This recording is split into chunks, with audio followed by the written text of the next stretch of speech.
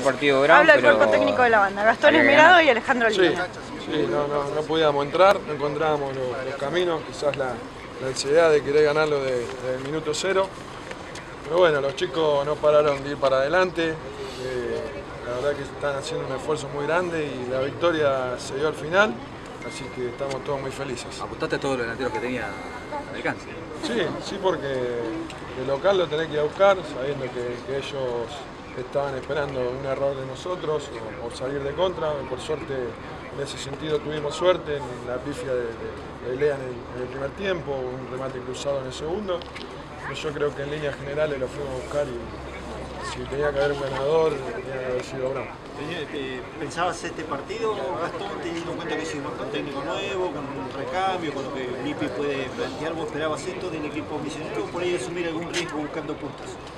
No, lo esperábamos, sabiendo que, Sergio por ahí es arma los equipos un poquito más duros que, el Chulo, es más, hizo varios cambios para tratar de, de llevarse algo. Pero bueno, eh, tomamos todos los recaudos, por suerte lo fuimos a buscar y, y lo ganamos. Así, como dijimos recién, no fue la mejor tarde nuestra, pero había que ir a buscarlo y, y lo fuimos a buscar y por eso lo ganamos. Gastón, ¿estos son los partidos que hay que ganar para demostrar que, que están para el ascenso? Hay que ir partido a partido. Ya cumplimos el primer objetivo que nos pidió la dirigencia, que eran los 60 puntos, ya los tenemos. Ahora tenemos que ir a, a San Luis a traer un buen resultado y después todos los que vengan tratar de sumar para después al final ver si nos da para, para pelear bien, bien por el ascenso. En el, ambiente, en el ambiente son todos muy cautos, ¿no? no se quiere hablar de la- de- del ascenso, pero con estos resultados, como se van dando otros resultados de, de equipos que no, nos alcanzan, se empieza a volar en la, cabeza de todos ustedes la posibilidad de que a veces se, se lucha por ese objetivo.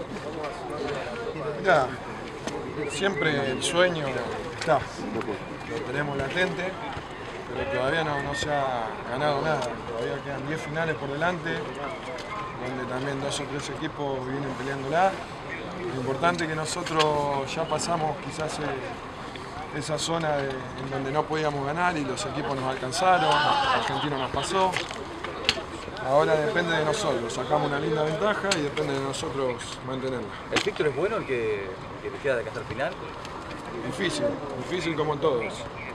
Son 10 partidos que van a ser dificilísimos, más con rivales que por ahí van a venir acá a llevarse un puntito o, tratar de, ganarte. Entonces tenemos que ser inteligentes y, por ahí no tener tanta ansiedad para tratar de, de que las cosas salgan y no terminemos sufriendo como, como este partido. Alejandro hablaba Gastón de los 60 puntos, que era el primer objetivo, quizás el principal. El próximo objetivo es llegar a los 80 puntos, ¿con eso alcanza? 20, 20 de 33, no es mala la cuenta. En función de lo, del término de porcentaje, estarían incluso por debajo de lo que han cosechado hasta ahora. 20 de 30,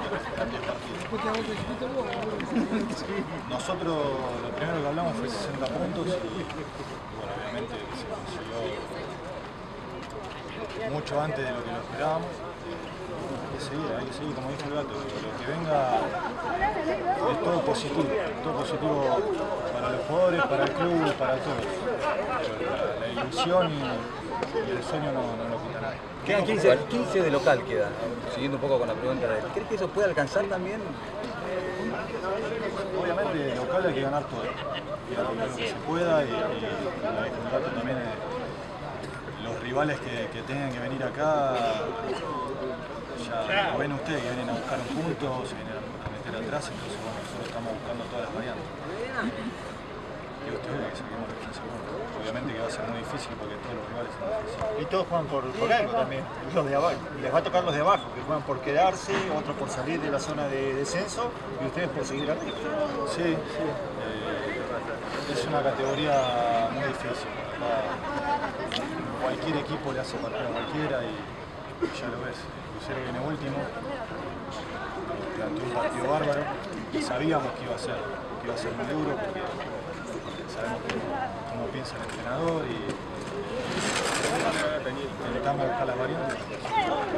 El equipo sale casi de memoria. ¿Para Albarracín puede llegar para el otro partido? ahí está con una molestia, así que vamos a ver, vamos a ver cómo, cómo evoluciona. Que mañana las estudios y eso.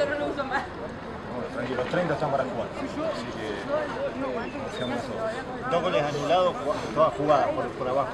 Daba la sensación de que se quebraba de esta manera el partido, no es pelota parada. Sí, sí.